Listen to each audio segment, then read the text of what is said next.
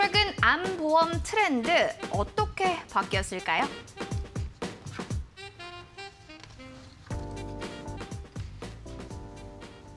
네, 요즘에는 뭐 의료기술이 잘 발달하다 보니까 조기에 암을 발견하기도 한다라는 내용 좀 들어보셨을 겁니다. 그에 따라서 암보험도 과거와는 좀 다소 변했다라는 내용도 있는데요. 암보험의 트렌드가 요즘에 좀 어떻게 변화됐는지 궁금하시죠? 지금부터 알아보겠습니다. 네, 최근 몇 년 전부터 국가에서 시행하는 암 검진 수검률이 많이 올라갔는데요. 여기에 검진 기술까지 발전하면서 암 조기 발견율도 같이 증가했습니다. 이로 인해 모르고 넘어가던 암이라는 병을 미리 발견하면서 치료에 따른 비용도 증가하고 있는 것이 현실입니다.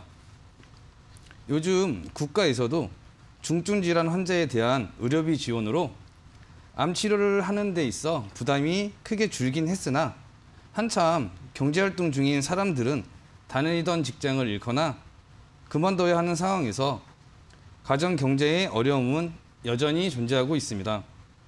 그래서 과거에 많이 가입했던 암 보험은 범위는 넓으나 진단금의 크기가 작아 진단 금액을 늘리는 리모델링을 하셔야 혹시 모를 위기 상황에서도 가정 경제도 지키고 마음 편히 치료에 전념하실 수 있습니다.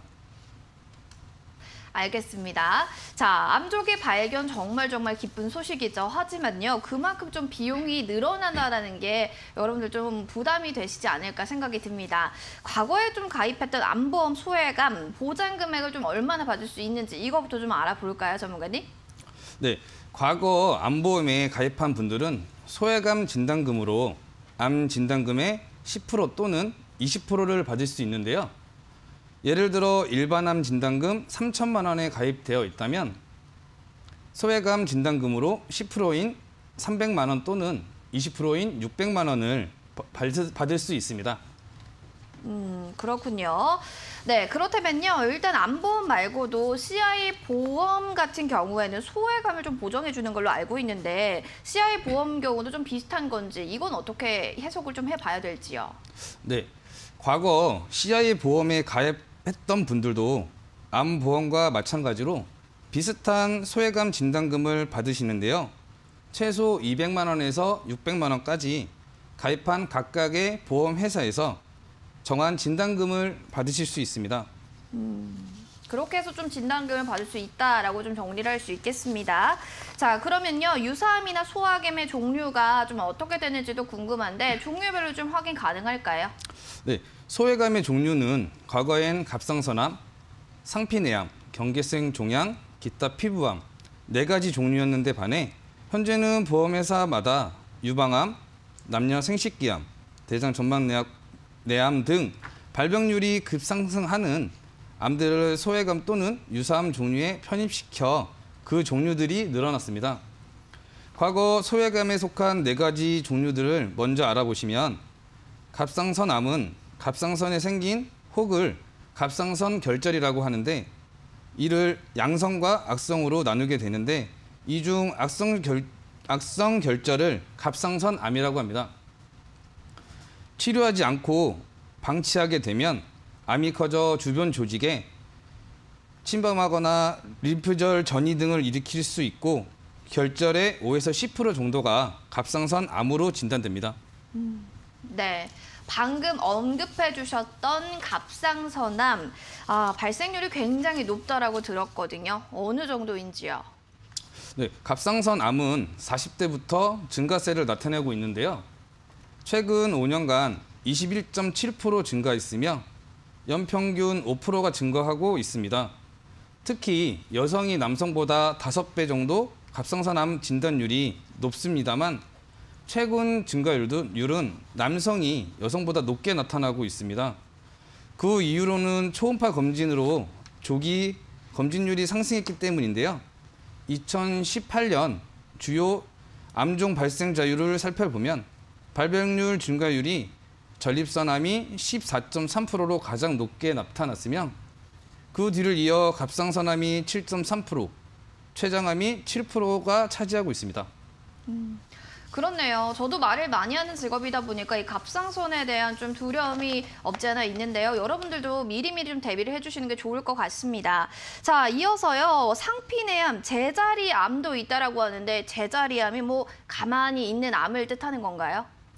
네, 상피내암과 제자리암, 제자리암은 예시 그림에서 보는 것과 같이 암 세포가 기저막을 벗어나지 못하고 상피 내에 또는 제자리에 머물러 있는 초기 암을 말합니다.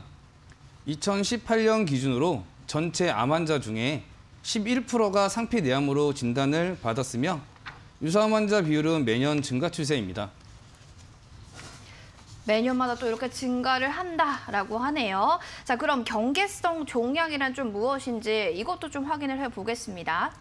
네, 경계성 종양은 쉽게 말해 양성 종양인지 악성 종양인지 종양이 구별이 안 되는 종양을 말하는데요. 양성 종양은 천천히 자라며 인체에 거의 해가 없고 수술로 종양, 종양을 제거하면 건강에 이상이 없습니다. 하지만 악성 종양은 빨리 자라고 인체에 해가 되며 수술을, 수술로 종양을 제거해도 재발 가능성이 아주 높습니다. 알겠습니다. 자, 그러면요. 일단은요. 항암 치료, 표적 항암 치료제도 있다라고 하는데 참 암 종류도 많은 것 같아요. 이 치료는 좀 어떤 치료들인지도 하나씩 확인을 해 볼까요?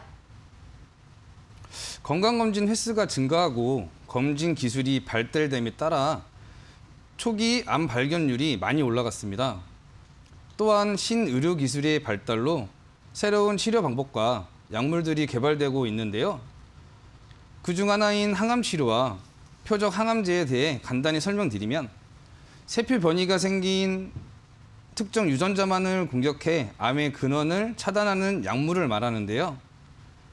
항암 치료는 암 세포 내에 어떤 분자 변화가 암을 일으켰는지 알아내 그에 맞는 약제를 투여하는 방법입니다. 표적 항암 치료는 유전자 변이를 일으킨 단백질을 집중적으로 공략하여 암이 더 이상 크지 못하게 하거나 사라지게 하는 치료 방법입니다. 뭐 두 가지 치료에 대해서 좀 알아봤습니다. 이런 치료 방법 정말 개발하지 않나라는 생각도 드는데 보험도 여기도 잘 해당이 된다면 얼마나 든든하겠습니까?